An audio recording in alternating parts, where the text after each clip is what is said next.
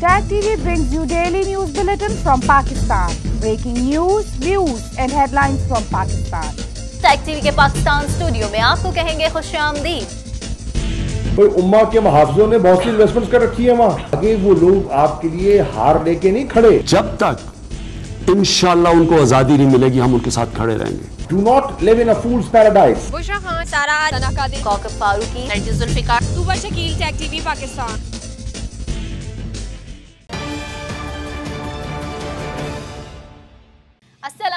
علیکم tech T V کے Pakistan studio میں آپ کو کہیں گے خوش آمدید۔ میں ہوں کوکک فاروقی سب سے پہلے شامل کریں گے نیوز ہیڈ لائنز۔ دنیا میں پاکستان کی شناخت بدل چکی ہے۔ وزیر اعظم کا کہنا ہے کہ اب ہم مسلم امہ کو اکھٹا کرنے میں اپنا کردار ادا کریں گے۔ جو ہماری نوجوان آبادی ہے ینگ پاپولیشن ہے، دنیا میں سیکنڈ ینگسٹ پاپولیشن ہے، یہ ہماری سٹرنگت میں کنورٹ ہو سکتا ہے۔ اسی ایک ہی چیز پر ڈیجیٹل پاکستان کی وجہ سے۔ گوگل کی سینئر پاکستانی ایگزیکٹیف تانیہ ایدریس پاکستان کی خدمت کرنے کے لیے امریکی کمپنی کا اہم عوضہ چھوڑ کر ملک واپس آ گئی کہتی ہے کہ میں پاکستان کو ترقی کرتا دیکھنا چاہتی ہوں۔ پی ایم سے میری پہلی میٹنگ پہ انہوں نے ایک بات مجھے بہت کلیئرلی کی کہ تانیہ پرابلمز کی لسٹ یہاں پہ بہت لمبی ہے لیکن تم نے پرابلمز کو دیکھ کے گھبرانا نہیں ہے۔ پاکستان، امریکہ اور طالبان مذاکرات بہاری کے اعلان کا خیر مقدم کرتا ہے ترجمان دفتر خارجہ کا کہنا ہے کہ پاکستان کیمیائی ہتھیاروں کی روک تھام کی تنظیم کا دوبارہ رکن منتخب ہوا The Indian government cannot suppress the aspirations of the people of Indian occupied Jammu and Kashmir for exercising the right to self-determination. Shahbaz Sharif کے دھیلے کی کرپشن کی داستان اربوں میں ہے۔ شہزاد اکبر کہتے ہیں کہ دس سال میں شہباز شریف کے احساسوں میں ستر فیصد اضافہ ہوا۔ تفتیش کے دوران یہ پتہ چلتا ہے کہ شہباز شریف اور اس خاندان کی ایسٹس میں، ان کے ذرائع میں، ان کے جتنے بھی ایسٹس ہیں، اس میں ہوش ربا اضافہ ہوا ہے۔ ریاست مدینہ کے خواب کی تعبیر صرف حکومت کے بس میں نہیں۔ چیئرمین نیب کا کہنا ہے کہ اس کے لیے سب کو مل کر کام کرنا ہوگا۔ ہیڈ لائنز آپ نے جانی، خبروں کی تفصیل شامل کریں گے اس بریک کے بعد۔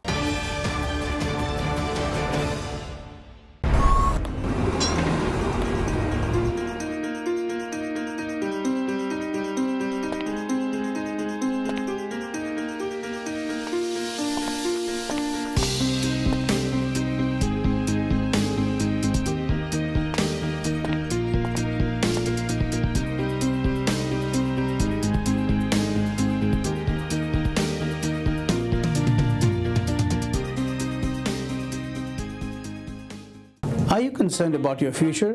We invite you to consider Option Canada. I'm a former Canadian immigration officer and a senior case analyst, and I've served the Canadian government for 16 years. I provide accurate assessment on every case, and I'll be happy to assist you in making Canada your home. For the past 26 years, we have assisted professionals, business people, senior managers, and the self employed worldwide to relocate to Canada. We can help you and loved ones back home live the Canadian dream. Do it once, do it right. Swami Kashi Guru جی کا کہنا ہے کہ وہ آپ کی تمام سمسیاؤں کا حل جانتے ہیں۔ Swami Kashi Guru ji is a specialist in bringing back your loved ones he is specialise to sort out generation crisis and any problem within 48 hours آپ کے ڈپریشن فیملی کوٹ پرابلمز اور بے شمار مسائل کے حل کا دعویٰ کرتے ہیں۔ سوامی کاشی گرو جی سے رابطہ کیجیے six four seven 765 6311. 647 765 6311. Address 565 Markham Road, Scarborough. Bulletin میں خوش آمدید۔ بولیٹن کے آغاز میں اسلام آباد سے خبر شامل کریں گے۔ آپ کو بتائیں، اسلام آباد میں ڈیجیٹل پاکستان ویجن کی افتتاحی تقریب سے خطاب کرتے ہوئے وزیر اعظم نے کہا کہ یہ منصوبہ پاکستان کے نوجوانوں کی صلاحیتوں کو بھارے گا۔ مجھے خوشی یہ ہے کہ پاکستان بین الاقوامی سطح پر با اعتبار ملک بن چکا ہے۔ مزید جانتے ہیں اس رپورٹ میں۔ وزیر اعظم عمران خان نے کہا ہے کہ دنیا میں پاکستان کی شناخت بدل چکی ہے۔ اب ہم مسلم امہ کو اکٹھا کرنے میں اپنا کردار ادا کریں گے۔ ان خیالات کا اظہار انہوں نے اسلام آباد میں ڈیجیٹل پاکستان پاکستان ویژن کی افتتاحی تقریب سے خطاب کرتے ہوئے کیا۔ اپنے خطاب میں وزیر اعظم عمران خان نے ڈیجیٹل پاکستان منصوبہ پیش کرنے والی تانیہ ایدریس کو مخاطب کرتے ہوئے کہا کہ انہوں نے گوگل کی ملازمت چھوڑ کر پاکستان آنے کا بڑا فیصلہ کیا۔ انہوں نے کہا کہ وہی لوگ زندگی میں اوپر جاتے ہیں جو بڑے فیصلے کرتے ہیں اور چیلنج کا سامنا کرتے ہیں۔ جبکہ جو لوگ چیلنج کا سامنا نہیں کرتے، ان کی اوپر جانے کی صلاحیت ختم ہو جاتی ہے اور وہ بوڑھے ہو جاتے ہیں۔ انسان بوڑھا تب ہوتا ہے جب چیلنجز ختم ہو جاتے ہیں۔ تانیہ کی زبردست نوکری گوگل کے لیے کام کر رہی ہے، پتہ نہیں کتنے پیسے لیتی ہوگی۔ مجھے تو زیروز بھی نہیں پتا کہ کتنے اس کے پے چیک پہ آتے تھے۔ رضا، آئی ایم ایف ان کی ریٹائرمنٹ کو زیادہ دیر نہیں تھی پینشن مل رہی تھی اور آئی ایم ایف کی پینشن وہ چھوڑ کے آ گئے۔ یہ مشکل فیصلے ہیں۔ اور یہ جو دنیا میں لوگ کامیاب ہوتے ہیں، وہ مشکل فیصلے کر کے ہوتے ہیں۔ یہ جو ہماری نوجوان آبادی ہے ینگ پاپولیشن ہے، دنیا میں سیکنڈ ینگسٹ پاپولیشن ہے، یہ ہماری سٹرنگتھ میں کنورٹ ہو سکتا ہے۔ اسی ایک ہی چیز سے اوپر۔ ڈیجیٹل پاکستان کی وجہ سے ایک چیز سے اس ایک کے اوپر اگر ہم زور لگا دیں تو ہماری یہی آبادی ایک طاقت بن جائے گی۔ کچھ بات کریں گے۔ تانیہ ایدری سنگاپور میں واقع گوگل کے علاقائی ہیڈ آفس میں اہم پوزیشن پر فائز تھی، لیکن وہ اپنی پرکشش نوکری چھوڑ کر پاکستان میں وزیر اعظم عمران خان کے ڈیجیٹل ویژن پروگرام کی سربراہی کریں گی۔ مزید جانتے ہیں، سپورٹ میں۔ گوگل کے ایک سینئر پاکستانی ایگزیکٹو تانیہ ایدریس پاکستان کی خدمت کرنے کے لیے امریکی کمپنی کا اہم عہدہ چھوڑ کر ملک واپس آ گئیں تانیہ اس وقت سنگاپور میں واقع گوگل کے علاقائی ہیڈ آفس میں اہم پوزیشن پر فائز تھی لیکن وہ اپنی پرکشش نوکری چھوڑ کر پاکستان میں وزیر اعظم عمران خان کے ڈیجیٹل ویژن پروگرام کی سربراہی کریں گی تانیہ نے امریکہ کی میسیچوسٹ انسٹیٹیوٹ آف ٹیکنالوجی سے ایم بی اے کی ڈگری حاصل کی ہے۔ ڈیجیٹل پاکستان پروگرام کی افتتاحی تقریب سے خطاب میں تانیہ ایدریس نے اپنے جذبات کا اظہار کرتے ہوئے کہا کہ میرا صرف ایک ایجنڈا ہے اور وہ یہ ہے کہ میں پاکستان کو ترقی کرتا دیکھنا چاہتی ہوں۔ تانیہ کا کہنا تھا کہ جب یہ حکومت آئی تو مجھے محسوس ہوا کہ میں پاکستان جا کر کچھ کر سکتی ہوں، کیونکہ مجھے اعتماد تھا کہ اس حکومت کو عام پاکستانی کے مستقبل کی پرواہ ہے۔ لاسٹ ایئر پہلی دفعہ جب یہ حکومت آئی تو مجھے اپرچونٹی ملی کہ میں پاکستان پہ پہلی کیس سٹڈی لکھ سکوں ایم آئی ٹی کے پلیٹ فارم سے۔ وہ میں نے کیا۔ سات سال پہلے مجھے گوگل میں اپرچونٹی ملی کہ میں پاکستان کا بزنس شروع کر سکوں۔ اس کے لیے میں امریکہ چھوڑ کے سنگاپور موو ہوئی۔ گوگل کا بزنس شروع کیا۔ ہم نے پروڈکٹس یہاں پہ گوگل کے لانچ کیے۔ اس کے دیکھے دیکھے فیس بک نے اپنا پاکستان کے اوپر فوکس شروع کیا۔ پی ایم سے میری پہلی میٹنگ پہ انہوں نے ایک بات مجھے بہت کلیئرلی کی کہ تانیہ پرابلمس کی لسٹ یہاں پہ بہت لمبی ہے، لیکن تم نے پرابلمس کو دیکھ کے گھبرانا نہیں ہے۔ ان سب کی کانفیڈنس کی وجہ سے جی مجھے کانفیڈنس یہ پیدا ہوا کہ شاید ایز این آؤٹ سائڈر جو ایک سسٹم کا حصہ میں نہیں ہوں، شاید میں واپس آ کے لیپ آف فیتھ لے کے شاید کچھ یہاں پہ کانٹریبیوٹ کر سکوں۔ کچھ بات کر لیتے ہیں ترجمان دفتر خارجہ ڈاکٹر محمد فیصل کا کہنا ہے کہ کشمیریوں کی امنگوں کے مطابق فیصلہ نہیں ہوگا تو مسئلہ بھی حل نہیں ہوگا۔ پاکستان کی کشمیر پالیسی اسی جگہ ہے جہاں تھی، کوئی تبدیلی نہیں آئی۔ مزید جانتے ہیں اس رپورٹ میں۔ ترجمان دفتر خارجہ ڈاکٹر محمد فیصل کا کہنا ہے کہ کشمیریوں کی امنگوں کے مطابق فیصلہ نہیں ہوگا تو مسئلہ بھی حل نہیں ہوگا۔ پاکستان کی کشمیر پالیسی اسی جگہ ہے جہاں تھی کوئی تبدیلی نہیں آئی۔ تفصیلات کے مطابق ترجمان دفتر خارجہ ڈاکٹر محمد فیصل نے ہفتہ وار بریفنگ میں بتایا کہ مقبوضہ کشمیر میں ایک سو چھبیس روز سے انسانی حقوق کی خلاف ورزیاں جاری ہیں۔ مقبوضہ کشمیر میں ذرائع ابلاغ بند ہیں۔ بھارتی حکومت کسی کو مقبوضہ کشمیر جانے کی اجازت نہیں دے رہی۔ دفتر خارجہ کا کہنا تھا کہ پاکستان مقبوضہ کشمیر میں انسانی حقوق کی خلاف ورزیوں کو مسلسل آواز اٹھا رہا ہے۔ او آئی سی نے مقبوضہ کشمیر کی صورتحال پر تشویش کا اظہار کیا ہے۔ ترجمان کا کہنا تھا کہ کشمیریوں کی امنگوں کے مطابق فیصلہ نہیں ہوگا تو مسئلہ بھی حل نہیں ہوگا۔ پاکستان کی کشمیر پالیسی اسی جگہ ہے جہاں تھی کوئی تبدیلی نہیں آئی۔ Over 8 million people in the Indian occupied Jammu and Kashmir remain cut off from the world with continued concerns being raised about lack of medical supplies and other basic needs. These inhuman and unilateral actions by India are continuing despite widespread international condemnation. The Indian government should immediately restore internet and mobile phone services, release all prisoners, especially civil society members and the abducted young children, remove Public Safety Act and other draconian laws, and allow the independent media and international human rights observers to visit the region to independently observe the situation of the Kashmiri people.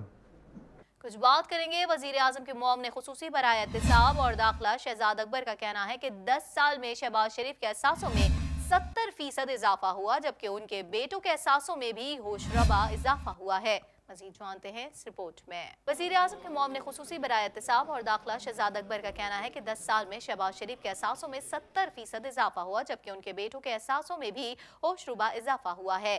وزیر اعظم کے معاملے خصوصی برائے احتساب اور داخلہ barrister Shahzad اکبر نے مراد سعید کے ہمراہ پریس کانفرنس کی، جس میں انہوں نے کہا کہ آج ہم نیٹ ورک بے نقاب کرنے جا رہے ہیں۔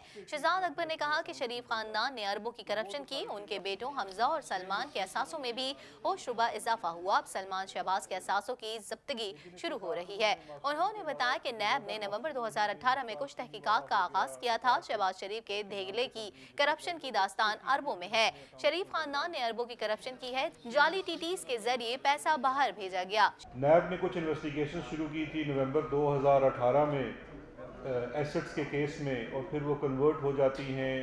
منی لانڈرنگ کی انویسٹیگیشن میں۔ کیونکہ اس پروب کے دوران، اس انویسٹیگیشن تفتیش کے دوران یہ پتہ چلتا ہے کہ شہباز شریف اور اس خاندان کی ایسٹس میں، ان کے ذرائع میں، ان کے جتنے بھی ایسٹس ہیں، اس میں ہوش ربا اضافہ ہوا ہے۔ بات کر لیتے ہیں۔ چیئرمین نیب نے کہا ہے کہ ملک کی دولت لوٹنے والوں کو حساب دینا پڑے گا۔ کرپشن کے ستر سال پرانے مسئلے کو دور کرنے کے لیے سب کو مل کر کام کرنا ہوگا۔ مزید احوال اس رپورٹ میں۔ قومی احتساب بیورو نیب کے chairman justice retired Javed Iqbal کہتے ہیں کہ ریاست مدینہ کے خواب کی تعبیر صرف حکومت کے بس میں نہیں، اس کے لیے سب کو مل کر کام کرنا ہوگا۔ راول پنڈی میں منعقدہ ایک تقریب سے خطاب کرتے ہوئے chairman NAB justice retired Javed Iqbal نے کہا کہ ریاست مدینہ کی تعمیر ناممکنات میں سے نہیں، اس کے لیے ہمیں مل کر ترجیحات بدلنی ہوں گی یہ خوبصورت خواب ہے۔ انسان کو خواب دیکھنے کا حق کیا ہے۔ آپ خواب دیکھ سکتے ہیں۔ آپ کے اپنے ارمان ہوتے ہیں۔ لیکن خواب پورے صرف اس وقت ہوتے ہیں جب ان خوابوں کی تعبیر کے لیے آپ جدوجہد کرتے ہیں، آپ محنت کرتے ہیں، آپ کوشش کرتے ہیں۔ خوابوں کی خوابوں کی تعبیر گھر بیٹھے نہیں ملتی۔ اس کے لیے آپ کو کام کام اور سچائی کے ساتھ، لگن کے ساتھ دل لگا کے محنت اور محنت کرنی پڑتی ہے۔ اس کے بعد جا کے کہیں آپ کو اپنے خوابوں کی تعبیر ملتی ہے۔ ریاست مدینہ یہ وہی خواب ہے جو ہم آج دیکھ رہے ہیں۔ اس کی تعبیر ناممکنات میں سے نہیں ہے، لیکن اس کے لیے ایک شرط ہے کہ سب سے پہلے تو آپ کو اپنے آپ کو ٹھیک کرنا ہے، پھر آپ کو اپنے گھر کو ٹھیک کرنا ہے، پھر آپ کو گرد و نواح کو ٹھیک کرنا ہے۔ آپ یقین کریں کہ اگر آپ محنت سے کام کریں، آپ سچائی کے ساتھ کام کریں، تو یہ کام کوئی مشکل نہیں ہے۔ ریاست مدینہ آج بھی وجود پذیر ہو سکتی ہے، آج بھی پاکستان ریاست مدینہ کی شکل اختیار کر سکتا ہے، لیکن اس کے لیے ہمیں اپنے ذاتی مفادات کو قومی مفادات کے تابع رکھنا ہے۔ اگر ہم یہ سوچیں کہ جی نہیں، ہم اپنے مفادات کو ترجیح دیں گے، تو پھر ریاست مدینہ کیسے بنے؟ گی یہ نیب صرف تنہا اس برائی کو جڑ سے اس لیے نہیں اکھیڑ سکتا کہ یہ ستر سالہ پرانا مرض ہے۔ اس میں ہم سب کو مل کے کام کرنا ہے۔ جب تک ہم سب مل کے کام نہیں کریں گے، اس وقت تک کرپشن کا خاتمہ نہیں ہو سکے گا۔ اور اس کا آسان ترین علاج وہ یہ ہے کہ ہم سب مل کر اپنی خود احتسابی کریں اپنے اپنے گریبان میں جھانکیں، اپنے آپ پہ نظر ڈالیں۔ ہمیں دوسروں کی آنکھ میں شہتیر تلاش کرنے کی بجائے پہلے اپنی آنکھوں کے اندر جھانکنا ہوگا کہ اس میں تو کچھ نہیں ہے ایسی بات۔ مزید خبروں کو بھی بلیٹن کا حصہ بنائیں گے مگر اس بریک کے بعد۔ Tag TV brings you daily news bulletin from Pakistan. Breaking news, views and headlines from Pakistan.